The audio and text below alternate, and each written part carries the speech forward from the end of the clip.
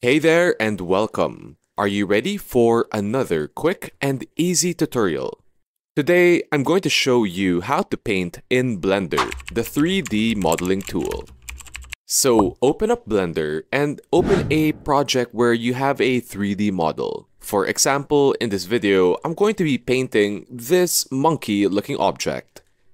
So in the upper left corner, you can choose the different modes available in Blender.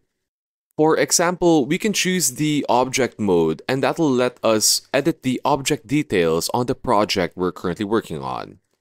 If we want to start painting, however, we have to make sure we choose the sculpt mode.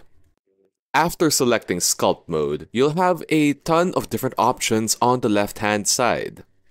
In order to start painting though, look for the paint icon as shown here. You can also quickly access this button by clicking Shift Spacebar Ctrl 1 by default. After selecting the paint tool, on the upper left corner yet again, you can choose the kind of color that you wish to apply to your 3D model.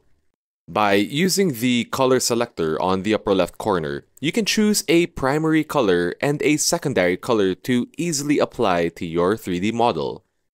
For example, here, we're currently applying this orange or yellowish hue tint to this 3D model that we have here.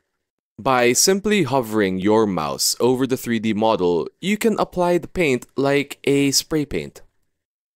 On the right hand side are all the different brush settings that you can apply to the brush that you're currently using we won't really delve too deeply and all the different brush settings that you can do, but now you have a very firm and basic understanding of how to use Paint tool in Blender.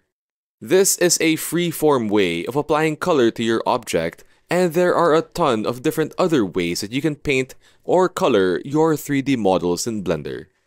And that's it for now. You now know how to use the sculpt mode to apply a paint and color in Blender. Thanks so much for watching guys, and we'll see you all in the next one.